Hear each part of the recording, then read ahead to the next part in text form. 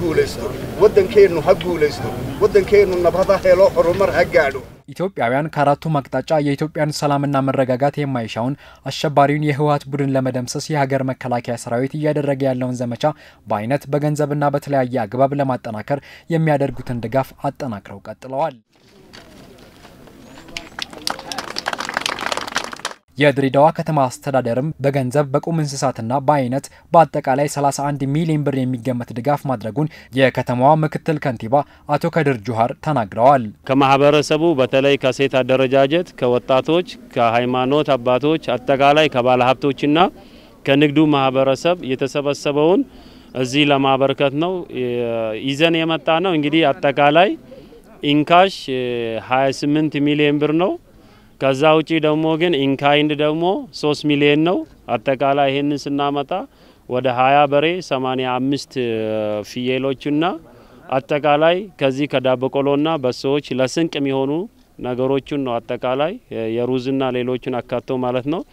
ሁለቱ ሲደመር እንግዲህ ወደ ሰላሳ አንድ ሚሊዮን ብር በድሬዳዋ አስተዳደርና በድሬዳዋ ማህበረሰብ እዚህ ለማስረከብ ተገኝተናል። በድጋፍ መርሃ ግብሩ የተገኙት የገንዘብ ሚኒስትሩ አቶ አህመድ ሺዴ ኢትዮጵያውያን በአንድነት ለሀገራቸው ሕልውና የቆሙ መሆናቸውን ገልጸው ሕዝቡ ለመከላከያ ሰራዊት አለኝታነቱን አጠናክሮ መቀጠል አለበት ብለዋል። የድሬዳዋ ከተማ ሕዝብ ለሀገሩ አንድነት ለሀገሩ ሕልውና ከጀግናው መከላከያ ሰራዊታችን ጋር ለመቆም ያሳየው ጥረት እጅግ የሚበረታታ ነው። በጠቅላላ በአገር ደረጃ የሀገራችንን ሰላምና ሕልውና ለመጠበቅ የሚደረገው ዘመቻ ላይ የህዝቡ መነሳሳት በጣም የሚያበረታታ ነው። ስለዚህ ይሄ ድጋፍ ተጠናክሮ መቀጠል አለበት።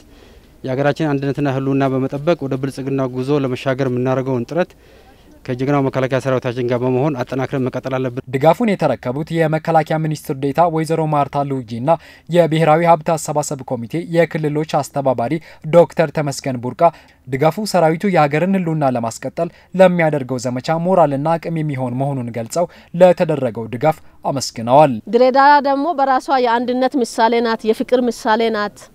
እስካሁን በሀገራችን ከሚጠሩ የአብሮነት ተጋርቶ ተካፍሎ የመብላት ምሳሌ ናት ድሬዳዋና የድሬዳዋ ህዝብም የዚሁ ምሳሌ ነው። ዛሬም ይሄን ምሳሌነታችሁን ይዛችሁ የኢትዮጵያን አንድነት ለማረጋገጥ የኢትዮጵያን ህልውና ለማስከበር የኢትዮጵያን አብሮ የመኖር ህልውና ይሄን ዘመቻውንም በመደገፍ ስንቃችሁን ይዛችሁ ስለመጣችሁ ይሄን ደግሞ ምሳሌያችሁን እዚህም ስለደገማችሁ የአንድነት ምሳሌያችሁን ስለደገማችሁ እጅግ አድርጌ አመሰግናለሁ። የበለጠ የፍቅርነት፣ የአንድነት፣ የህብረትነታችሁን መገለጫ ከመከላከያችን ጋር ሆናችሁ ከጸጥታ ኃይሉ ጋር ሆናችሁ አገራችሁን የምታሻገሩ ነው የሚሆነው። እናመሰግናለን ማለት ነው። ይህን ሀብት ይዘን ለመከላከያ አስረክበናል። ኢትዮጵያውያን ለሀገራቸው ሰላምና አንድነት ከሰራዊቱ ጎን በመቆም የሚያደርጉትን አስተዋጽኦ አጠናክረው እንዲቀጥሉ የሃይማኖት አባቶችና የሀገር ሽማግሌዎች ገልጸዋል። አገር ሰላም ካልሆነ መተኛት የለም፣ መብላት የለም፣ መስራት የለም። ስለዚህ እኛ ለመከላከያ ሰራዊታችን ሙሉ ኃይላችንን ድጋፍ እናደርጋለን። የሰራዊታችን መሰረት ህዝባዊነት ነው። የሰራዊታችን መሰረት የብሔር ብሔረሰቦች ተዋጽኦ ነው። ሰራዊታችን ህገ መንግስታችንና አገራችንን ሉዓላዊነቷን እና ከውስጥ የሚመጡትን ጠላቶቿን ለመጠበቅ ነው ያለው። ከሱ ጋር እሱን ለመደገፍ የሁላችንም ግዳጅ ነው። የሀገር መከላከያ ሰራዊት ከሚያደርገው ርብርብና ትግል ጋር አብሮ መቆም ምንም ጥርጥር የለውም። ለሀገራችን፣ ለእናት፣ ለአባት፣ ለወጣት፣ ለልጆች ሁሉ ሰላም ቅድሚያ እንስጥ የሚል ጥሪ ማስተላለፍ ፈልጋለሁ። የድሬዳዋ ከተማ አስተዳደርና የድሬዳዋ ህዝብ አሸባሪውን የህወሓት ቡድን ለመደምሰስ የሀገር መከላከያ ሰራዊት የሚያደርገውን ዘመቻ ለመደገፍ የሚያደርጉትን ድጋፍ አጠናክረው እንደሚቀጥሉም ተገልጿል።